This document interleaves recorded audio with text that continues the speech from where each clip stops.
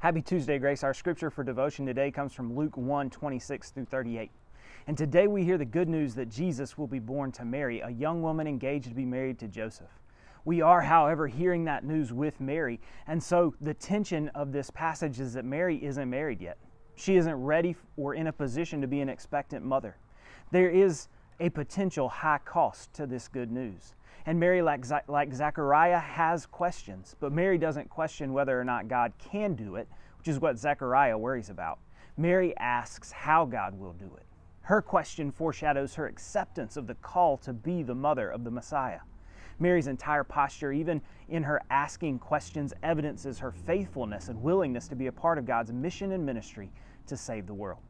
This day, join God in mission and ministry as Mary does. Ask questions, have conversation with God, find out how God will use you to help transform the world, but do all of it in a posture that communicates your willingness to be in ministry with God.